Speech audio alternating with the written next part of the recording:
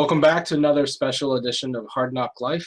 I'm your host Keith Chow. Another special special presentation uh, with our favorite nerd of color on the internet.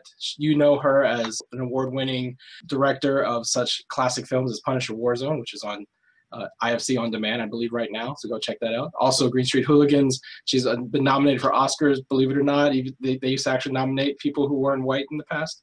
And uh, now she's a, an acclaimed television director for shows such as Arrow, and upcoming Supergirl, which we are all excited for. Welcome back to Hard NOC Life, our favorite director, Lexi Alexander. You know my favorite podcast, Nerds of Color, my people. Thank you. Oh, see, you, did you hear that? Nerds of Color, Hard NOC Life, Lexi Alexander's favorite podcast. We're going to put that in No, quotes. it's true. That I mean, I'm telling everybody. It goes even above my my very famous one. Uh, How did this get made? Because I feel like, you know, Nerds of Color are my people and, and you are our people. So uh, enough of the love fest. Let's get to talking about the Yeah. real things. Uh, well, one of the things I wanted to just off the bat, last time we talked, uh, it was around the time that you were uh, directing Arrow on the CW, and and we just happened to be talking again right before your episode of Supergirl airs on CBS. So you are well versed in the uh, we we like to call it the Berlanti verse, the Greg Berlanti, Andrew Kreisberg uh, universe of superhero shows. So can you quickly talk about um, how you went from Arrow to Supergirl and, and what we have in store? Because I'm a huge fan of the show, and when I found out you were directing it, it was just like mind blown. So, can you talk a little bit about your episode and then how you came to Supergirl? I remember you were live tweeting with me my Arrow episode, which was a big deal for me because that really was my first TV gig. And I mean, I was touched beyond belief that so many people showed up and live tweeted, you know, that di- didn't even watch the show, just live tweeted because, you know, I, I, I, I was directing. And so it was a big, big event for me. And, you know, I think the the sh- the episode was fairly popular. I mean, you know, the the showrunners really liked it. That's what they've told me. And, and Andrew Kreisberg was tweeting with me and made it had like uh, you know just gave me a compliment. And I think that Supergirl either premiered the night before or one of the first episodes had just premiered the night before. And um, I tweeted a little joke back, you know, knowing actually that they were all booked for what episodes were saved. I didn't even know that they were considering a back 10 or back 12 or whatever. Mm. Uh, they got, and so I tweeted a little joke when he complimented me and said, "We have to have you back." I said, "Well, how about up, up and uh, and away?" And so he he took that and and the very next day checked my availability for Supergirl. So it was what, like one of those amazing stories that I could talk about forever because it was really kind of a Twitter thing. I was being fairly forward and fresh, and he kind of went with it and said, "Yeah, I mean, like it's the logical choice for Supergirl."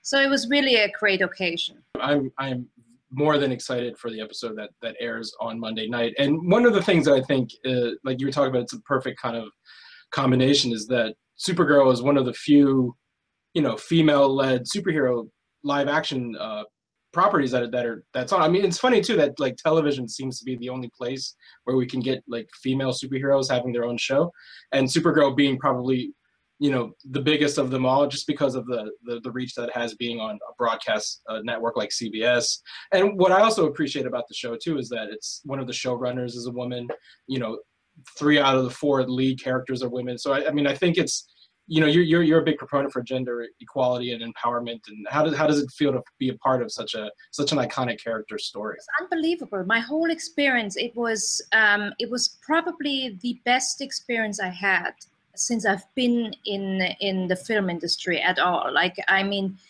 you know, there was a real appreciation about me being also a director who came from being a stunt woman and a female fighting champion. So everybody was super excited. Everybody said, whatever you can bring to the table, table, please bring to the table. So when you know when there was a fight scene written, I I looked at the choreography and I you know which I wouldn't usually do on another show because it's a touchy thing. You can't just as a director come in and like nix the whole you know choreography. But in this case, I knew that Andrew had great faith in me and had told me several times you know the stunt coordinator uh, John Medlin was you know started with the same stunt choreographer I started. Pat Johnson basically both made our careers. So I was in a in a safe place and. I ended up writing like, can I change this? I really would like to change this. Here's what I would like to do. And you know they you know it, it wasn't necessarily like oh yeah for sure whatever. Like it was really kind of a, a, step that i was taking and they all had a discussion and said look i think we we think you're the perfect person to take her fighting style to the next level. And melissa was told that as well so she was excited when i got there and said so this is going to be a slightly different than usual. Like we're not only going to to rely on your superpowers because you're getting to the place where you don't only win fights with your superpowers you win it based on also your fighting skills. And um, you know the end result was um, that andrew kreisberg now tells people that i basically established a fighting style that they will be from now on using mm. as a basis. Like it's it's it's not only done something for an episode but it's done something for the show. And you know that's as awesome as it gets. Like my dream is to at some point you know get to direct some of the pilots where you can establish styles and right. tone. Um, so you don't usually in episode 14 or something you don't get to do that but they let me do that because they had great faith. And not only that like he andrew actually showed up on the day of the fighting scene and made sure he like told the entire crew said, you know, make sure that Lexi gets what she wants because that's why I hired this Avenger over here. so it, you know, it sets a kind of tone for the rest of the crew to kind of say, oh, you know, the showrunner, you know, believes in this person. And, you know, as you know, we often talk about diversity and I always say it's not just about hiring diverse people, it's about inclusion. It's about can you create an environment that actually lets diverse people succeed?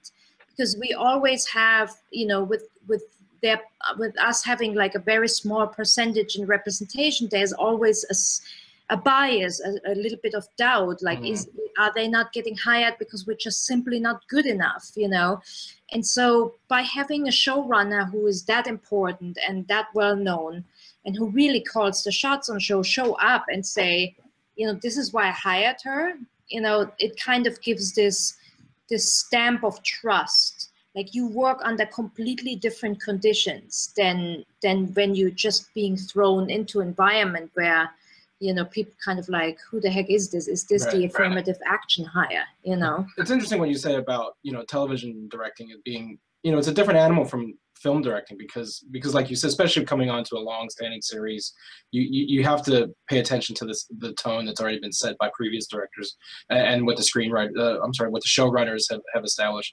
One of the cool things though about supergirl is that you know it's still in its first season and like like you said you, you, you can still kind of mold, mold it a little you know, I mean, I, I had a great time on Arrow, and I will always be grateful about that. But being in a first season show and be, it being a female superhero, where they still trying to figure out how strong is she, and what is a strong woman, and what is a what is a strong, you know, female superhero. One of the yeah. tweets that you sent out while you were filming, yeah. and you were talking about the fight scene, was this awesome photo that you sent out of you and and uh, yeah. um, Melissa. Can you talk a little bit about about the the girl power behind this uh, the behind this photo and and um, yeah you know this was actually funny because it, it, not a lot of people know it's interesting. Sometimes in america you get in a little bit of trouble because you know i don't think history is taught as well here as it should be. And so people thought i had taken a black panther reading you know and mm and and I, I, actually got a little bit of grief for that but of course i know the history of the raised fist which goes back to assyrian times you know mm. and it goes back to beyond beyond you know before the bible and not only that what actually is much more famous about the raised fist is this mexican uh, printing shop in the 40s which i'm dying for somebody to do a tv show about because there were these in the 40s there was this mexican printing shop that basically used logos um, for social causes. And mm-hmm. just this group of artists who was just this really hip group.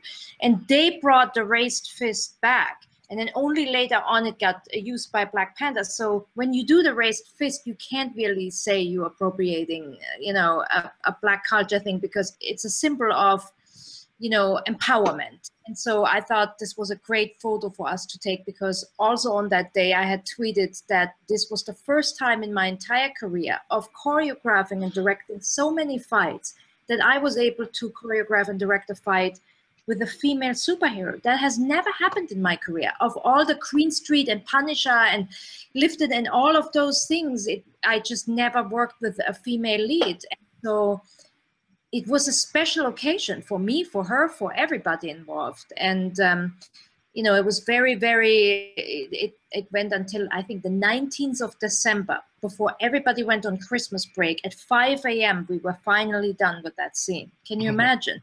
like we were dead like we will and they had gone an entire season and so here we stood with this photo and then i think what was really incredibly neat about it which i think you just had up as well is something i hadn't even realized is that my friend saladin ahmed mm-hmm. um, noticed that i had worn my uh, keffiyeh which is a basically a palestinian scarf. And you know I w- I wasn't doing that consciously. It's something i wear when i'm cold under you know and but here i was and i am an arab woman and here i was directing supergirl in a fight scene and it was uh, it was as he said an incredibly important moment in american pop culture you know?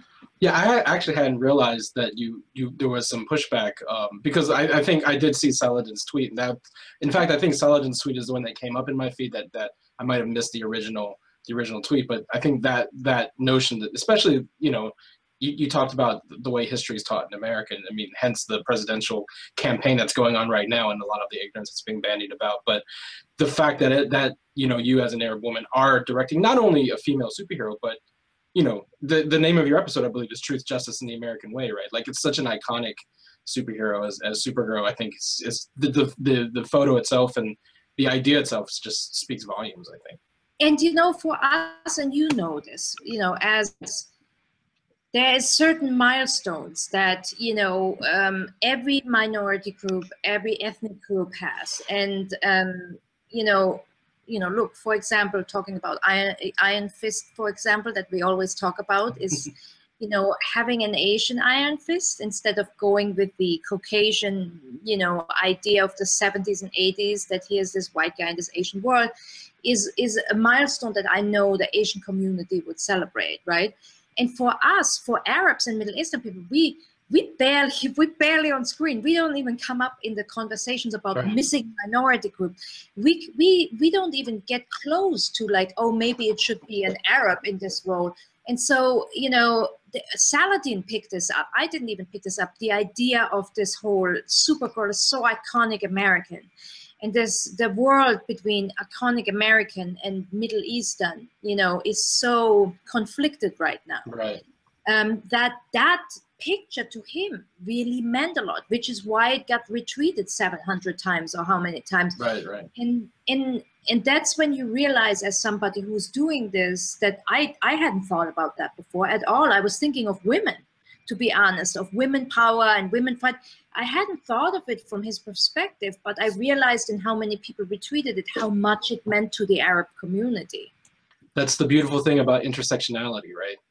Right and and then the, you know unfortunately that's that's you know those intersections often get do get ignored um I'm, I'm glad you you mentioned iron fist because you know we have been talking about this resurgence of of superheroes on television and and tv being the place where these superheroes get to be more diverse and get to, to get to represent more than just you know the what the what the avengers movies represent where it's where it's mainly white white dudes um you know on tv you have supergirl but you also have Agent Carter and Jessica Jones being representing for women. Um, Netflix has you know Daredevil. This the new season. Daredevil is going to have a Punisher, which is a character you're familiar with, but also Elektra being played by an Asian woman, which is which is actually they're halfway there about recasting right. traditionally white characters as people of color, um, and and of course Iron Fist coming. You know, since last we talked, I believe there's been a lot more progress, quote unquote, on the Iron Fist front. They've named a, sh- a showrunner, and um, you know they're still up in the air about who they're casting. You know how I feel, and I know how you feel about who should be uh, the the lead, uh, Danny Rand. Have you heard any? I mean, maybe you haven't. You can't talk about, but are the, have you heard any buzz about where Iron Fist is going? No, I would talk about it. That's not something I could keep a secret. And frankly, nobody tells me anything because of that. Like I've actually tried to find it out from the the who's the production designer right now for Luke Cage is a woman named Tony Barton, which people should talk about. She will never do press for herself, but she's an amazing, talented black woman who's who's worked as an art director on Jessica Jones and and Daredevil, and now she's become a production designer alone for Luke Cage because the production designer of or that she worked for has moved on already to Iron Fist. Like that's already being prepped, and it's already it seems clear that there will be a Punisher show. So, you know, I think there's a lot going on. And I also read somewhere that that that uh, Iron Fist is cast, that they're just not wanting to let us know. Now, I, I mean, I tried as hard as I could, but they they won't tell me. And uh, you know, I don't know. I don't have great hopes. I don't think you know the level of where what we. It's it's very unfortunate because the level of diversity and inclusion and equality that we're talking about is still too sophisticated for some people to comprehend. You know for them and i've seen this even a lot of like nerds of color that may not necessarily be our group of nerds of color but you know a lot of blurs you know a lot of like there was a lot of pushback on this Asian Danny Rand, even from our people. Oh yeah, and, trust me, I, I I received a, a, a good. I know. I saw all of you. Yeah, I saw all of you getting into arguments. I saw my Rebecca getting into arguments. And, you know, when that's the case, when even a black nerd can't understand why Asians want an Asian, you know, Iron Fist. Um, you know, how are we ever going to expect you know white people to understand it. It's unfortunate because obviously you and i understand so clearly why it's the right choice. And you know sometimes it reminds me this whole inclusion and diversity thing is like speaking a foreign language. And me me being someone who speaks several i know the process of it is you know you're at a place where you barely speak then you somewhat fluent and then you really fluent. And you know i feel like there's a certain there's so many levels of diversity. Most people think oh i'm so diverse and inclusion and you're not even fluent you're not even close Right. You don't speak the language at all. And so what we're talking about is understanding it fluently, you know, like understanding the feeling and the culture and the work. And they're not there. And I mean, boy, it would surprise me if it was an Asian actor. And certainly it would please me, but it would really surprise me because I, I just don't think they're there, you know? Yeah, I mean, I, I, I've been hearing the same things too. And, and, and not even just like rumors, but just gut instinct telling me that especially once they've named they named their showrunner. And and you know part of the reason why we were making so much noise that we were a few months back was because after Scott Buck was named the showrunner, I was hearing under through the grapevine that that they were leaning heavily towards casting a white actor, and you know, part of it, I'm kind of kind of at this point resigned to the to the fact, but I think what you're saying is absolutely right. The, the, the, the, idea that we even have to convince ourselves, and it, it goes beyond just, you know, other nerds of color. I mean, other Asian American people aren't necessarily on board with the idea of an Asian American art. The, the whole fear of like the martial arts stereotype, it, it plays a big part in that. And, and, you know, what's interesting is you being a martial artist and me, someone, you know, we've and we've talked about this in the past the martial arts itself is not the problem with the stereotype. The problem with the stereotype is this idea that asians can't be anything else. And and this was an opportunity for that to happen. That said being an, a, a martial artist I think the only the only saving grace that Iron Fist would have for me if they do cast a, a, non-Asian person in the lead role is to get you to be a director for one of the episodes. So let's keep our fingers crossed that that would happen because you could still kick you it. Know, and I I feel so um, conflicted about that because you know, obviously I've been outspoken about the fact that I would like to have an Asian actor. And, you know, it's it's frustrating to me because I feel like in 50 years from now, this is going to go down in history books like, oh, they didn't get that. That was a really bad choice to do the white guy in the Asian world again, you know. And it's so clear to me that it's almost, it's very conflicting. But, you know, I mean, it, you know, the, the, Marvel thing is an interesting thing because here I am now. I've done two DC shows. Um, you know, it's it's I certainly would like to dive into the Marvel world, but it hasn't happened yet. You know. Well, yeah, I mean, I, I believe you said Luke Cage has already finished um, filming because they've moved on to Iron Fist now, and, and Luke Cage, I believe, is still. No, they are in the middle of filming. I was actually they they just started their episode, but Oh. I think because Iron Fist is starting already while while Luke Cage is still in the middle of shooting. That's why they had to like create more jobs and more camps. But Luke Cage just started shooting, and I was actually up for an episode, but I didn't. Oh, okay. so I must have lost to somebody who's better than me, which, by the way, totally happens. Uh, you know, I'm excited. Who's better than Lexi Alexander? Nobody's better than Lexi. I'm Alexander. excited to see who it is. You know, um, I'm gonna look at every single resume of every single episode and see who beat me here. Well, if we're going to put this out on the internet that Lexi Alexander was up for Luke Cage and didn't get it, so you, know you're going to have all your internet backers coming out in full force. I'm pretty yes, sure. the nerds of colors must investigate. But I'm sure somebody who was much better and had more experience beat me to it, and that's that's okay. You know. Well, you know that's I would, you know, I like I said, I would still, I still think, how, however they cast uh, the lead in Iron Fist, you would still be the best option when it comes to at least directing one or two episodes because you know, I mean, your just your background alone. Although I, I think, like you said, your your your outspokenness might might uh, behoove you from from getting that part. But other than other than Iron Fist or Luke Cage or even Jessica Jones, are there other superheroes that you kind of have your eye on, or do you feel like you're you're ready to move on to other genres? Because I believe you're in New York City right now prepping a different kind of show, right? Yeah, I'm prepping Limitless, which the people are just lovely here. I mean, I'm telling you, the people in, in TV are so much better than in movies. I like, you know, I tried to explain it to somebody the other day. They were asking me if I would do a movie again, and I'm now actually getting quite a few movie offers. And you know, whenever people offer movies to me, it's like you're telling me, okay, we're now allowing you into the football team's locker room you are now allowed to be the woman in, in like it's it's not a nice environment to be in the football team's locker room with the you know whistling and the sexes. And like that to me that's like what are you offering me? You know it's not even like let me get in the gate. It's never been nice in there for women. It's uh, probably also not been nice for any people of color but like i'm telling you as a woman especially in in in the feature world there's something that they have established in their head that we just don't fit there. And it is like walking into an american football team's locker room. Like it feels like you're not you're not welcome and you're not you don't quite fit and it's weird for them to have you there and i don't know why it's such a male dominated environment and why they think it has to be. But in tv i mean i really have to say like people really treat me with respect and like genuine excitement that i take a job and um, i'm also excited that limitless was something that was offered to me because it doesn't it is the whole the, there was actually a funny moment today where i met the stunt guy who introduced himself and said i'm the stunt guy and um, i said do we have anything? He's like nope. And you know for me like to have no stunt whatsoever was like a massive compliment. And for him it was rather sad that he didn't have something to work with me because he really wanted to work uh, some kind of fight scene with me.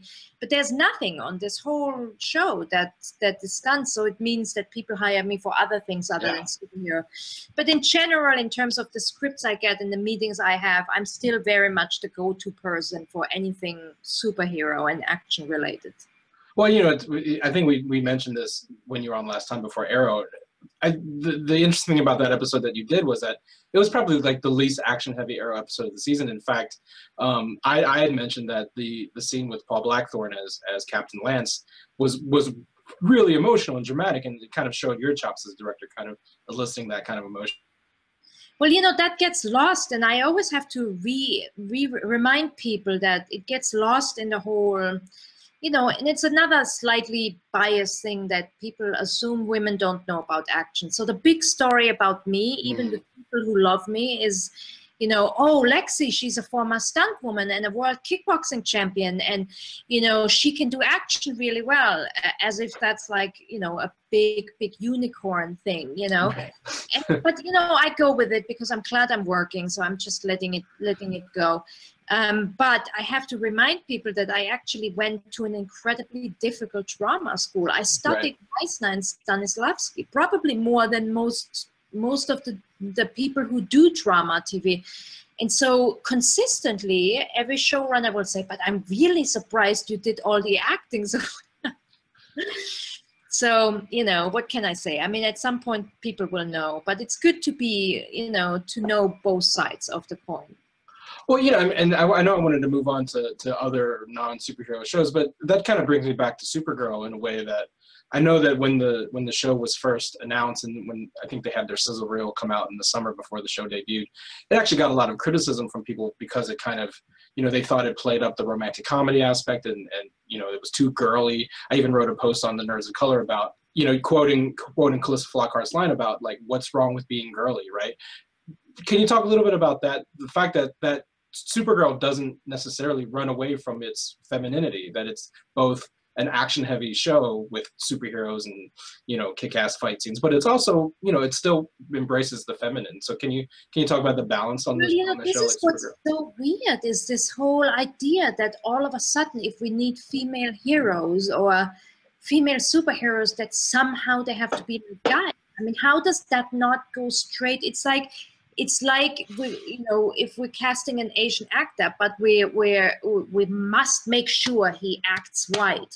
It's what right. bothers me about uh, Mr. Robot. You know, it's like, look, I love the fact that an Egyptian won. I had a big crying moment. Arab Twitter went out of its mind. But my, my good friend Amir Talal wrote, wrote, a, wrote a blog post about that, about the danger of brown actors playing white. Mm. You know, it's that thing like, can we only be like it always goes back to us being as much as white guys as possible and with with uh, supergirl it goes to you know can she only succeed if she's like a dude because right. Think about it if you look at hunger games that was very much written like she's a guy. Sure. She's he's the emotional uh, the, the the one that really has trouble showing emotions. She's the one that makes hard choices. The other guy she's in love with, or the one of the love triangle guys, I can't remember his name, is really the one who's more emotional.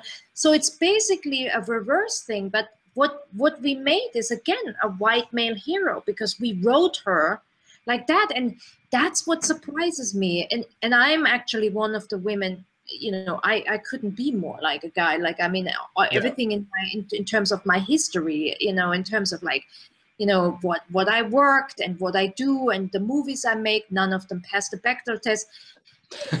You know does, does that does that you know what i don't tell people and i keep completely secret is things like i watched pretty woman 59 times or dirty dancing. I did ballroom dancing. Like, I mean, we're still women, you know, we still, um, and I, I, I don't know why this, this just doesn't help anything. It doesn't help to hire a person of color, or uh, an actor of color, and make him act white. And it doesn't help us to, you know, have a show about a female superhero and make her not be feminine. It's weird. And it's going in the wrong direction. Let her be a girl it's great. Right, and I feel like the, any kind of criticisms about, you know, that that go in that direction, and again, this is something that I wrote in the Nerds of Color. It kind of it makes it the default. You know, it reminds me of like when um, at, at uh, I think it was Christmas, and this was part of the post. In Christmas time, the president uh, was sorting, you know, potential Christmas gifts for boys and girls, and it was it was a big deal that he was putting like you know basketballs and sports stuff in like the girls bin and people were cheering, which is great, and I and I agree with that. And as someone who raises a daughter, my daughter loves science fiction and superheroes as much as the next kid. But I always felt like, but why is it only? It seems to only go one way. That it's awesome if girls act like boys, but it can't go the other way, right? Like it doesn't. Why why do we have to diminish femininity to celebrate girls? Does that make sense? Oh, I'm totally agree. We're still not at the point where you know, I have not seen a superhero, you know, bake or cook or be a single father or cry. Like we still, we still go back to this weird gendered way of how a dude has to be and how I would totally love, you know, if you know, God, I know so many single fathers who are, in my eyes, absolute heroes, who will have tea parties with their daughters. And I don't know why that's bad. And it's exactly what you said. It's actually the idea that anything considered feminine is bad is what Right. makes women be second class uh, citizens. Exactly. We got to get over that. First of all, what is feminine? Is the fact that I box and do martial arts masculine? Why? Why do we here still have gendered activities at all? This doesn't help anything. And frankly, it's frustrating to me. And I don't know how we get people into the next century of this. You know, stop with the gendered, you know, ideas. You know. Well, you know, i there's another Andrew Kreisberg, Greg Berlanti show that you haven't directed that actually features a superhero who cries and a single dad, and that's The Flash. So hopefully, uh, if Andrew Kreisberg is, is watching this, they'll they'll give uh, Lexi uh, an opportunity to do The Flash too, so she can do the whole triumvirate of uh, DC I shows. agree. But you know what we should talk about really quickly is that Vixen needs her own show. And I'm Well- slightly like I'm really pushing for that because I feel that there, is some hesitance of giving a black woman a lead show, and I don't want there to be. This is the other thing I wanted to talk about, uh, since I'm showing all of your um, Twitter pictures.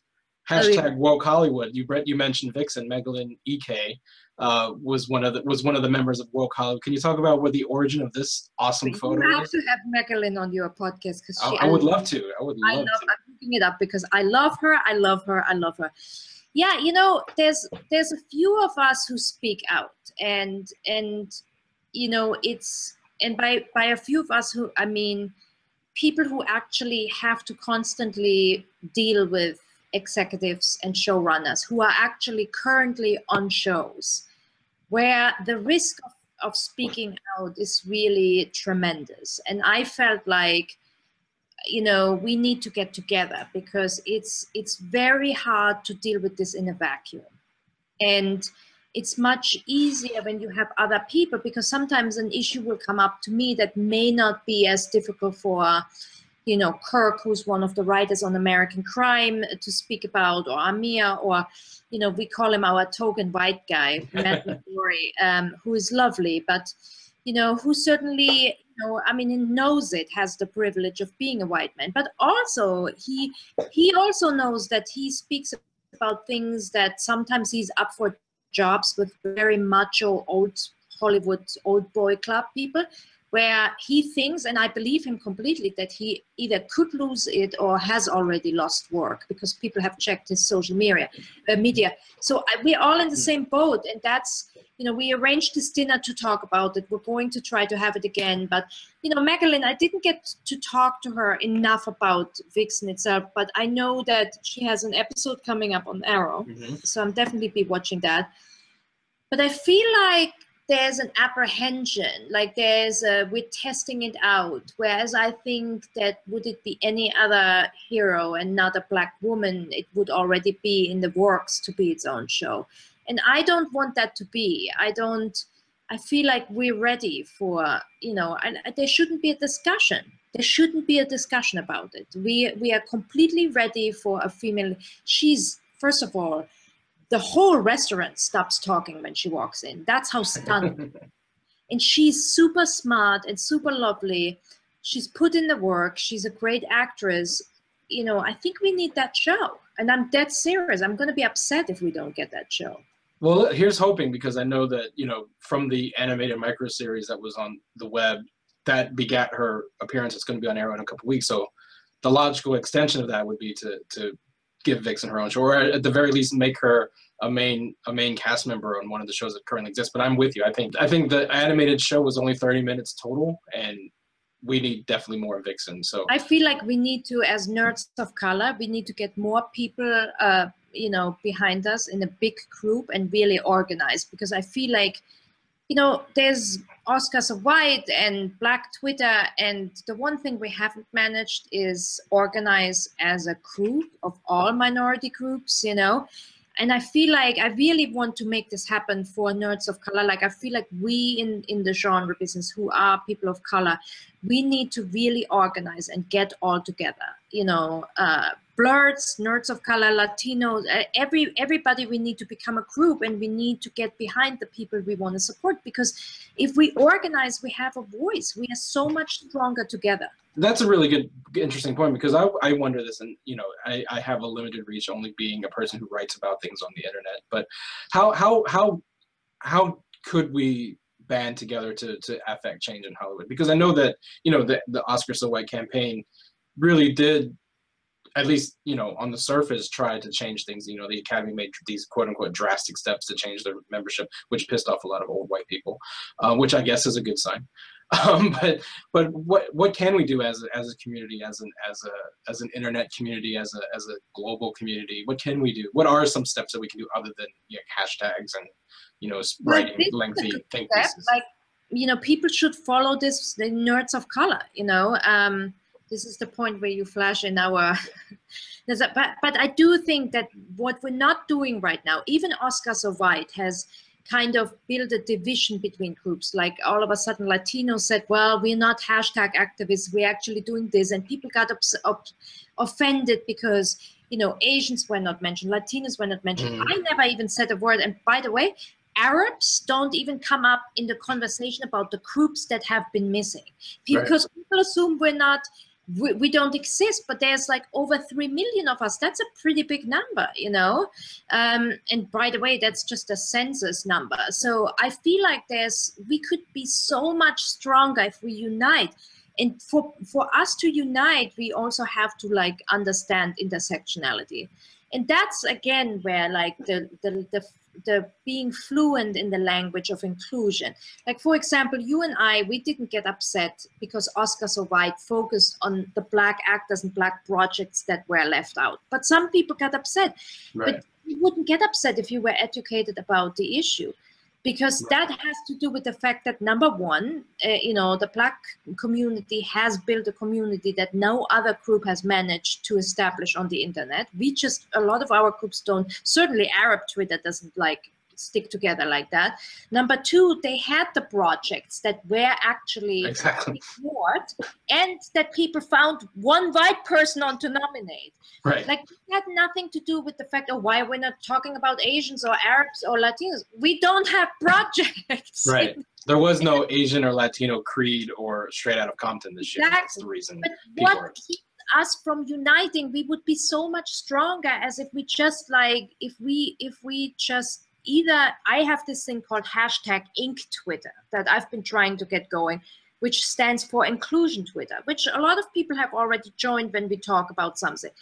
But in terms of genre and in terms of like pushing for a show like Vixen, let's just get behind nerds of color. And that means we're inviting everybody who basically is not white you know to join us in this cause. And even white allies can join. God knows we're not kicking anybody out. Matt mcgorry can be an honorary uh, nerd of color because such an ally. So it's not like we're exclusive, but this is a cause for us. And you you know, there's this famous picture of the fish, like the little fish will die, but the fish in a mob of fish can make a bigger fish, you know. And so we have to think about that.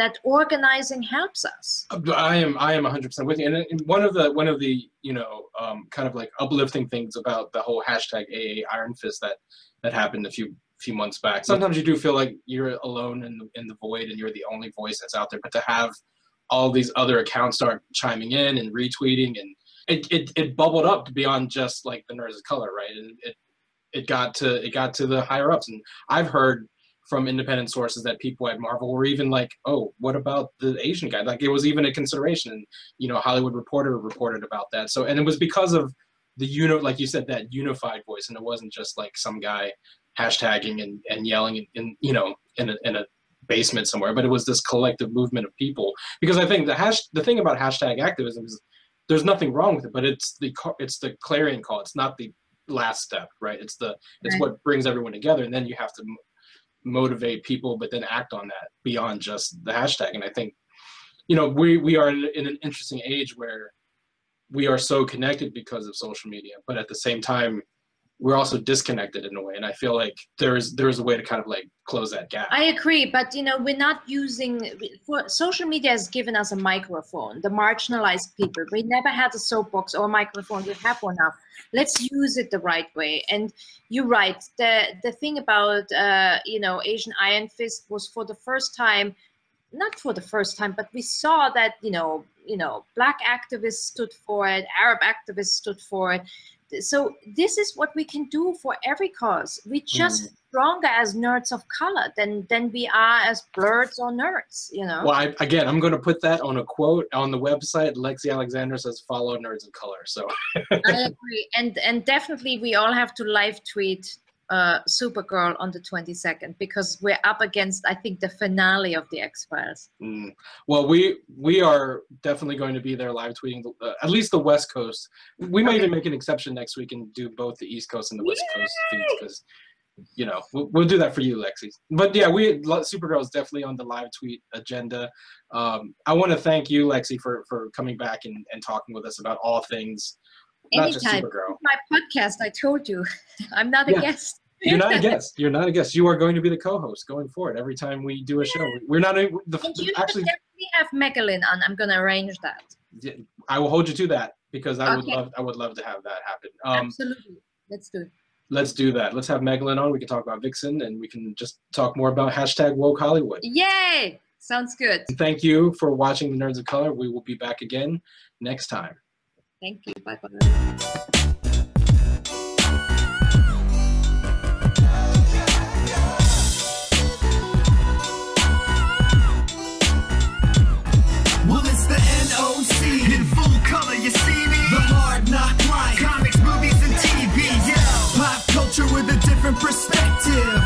On your screen, hit play, so check this. This is the hard knock life, but not the chicken kind. More like the people in the world seeking perspectives with a different line. The kids who share their interests together with a similar kind.